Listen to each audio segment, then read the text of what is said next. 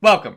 By the end of this video, you'll be able to cancel your MuseScore free trial subscription. This works mainly for those who have a subscription for MuseScore Pro. Maybe you tried out the free trial, and I'll show you how to cancel that by the end of this video.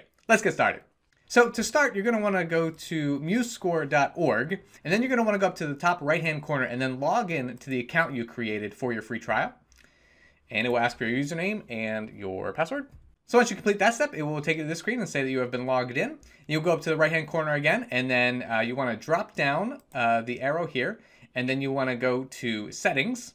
And once you're in settings, you want to go to the left hand side of your screen, and then you want to click on subscription.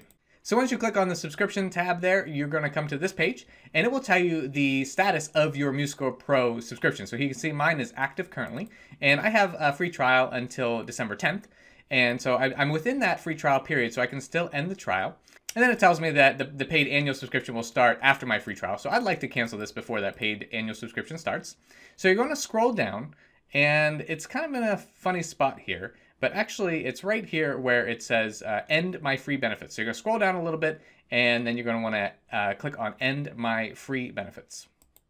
And then once you click on that, it's going to take you to this screen where it says uh, your free trial will be canceled and the pro features will not be available.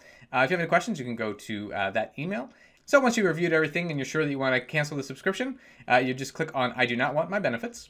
Okay, and then it'll bring you to this page. You can scroll to the top of the page and you can see the subscription now is saying that I am inactive. So I no longer have MuseScore Pro. So that's one thing to keep in mind. Once you decide to end your subscription, your free trial, your benefits will end uh, right away. So it's not like some other services where you'll actually have till the end of the free trial to keep your benefits. Uh, this one, whenever it seems like whenever you click that button, it is going to cancel your benefits immediately. So something to keep in mind uh, if you want to uh, maybe stretch out a couple of the days that you have the free trial left, if you want to take advantage of some of the things that MuseScore has to offer, MuseScore Pro.